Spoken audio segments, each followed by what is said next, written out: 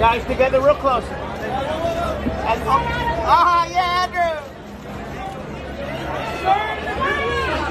Andrew!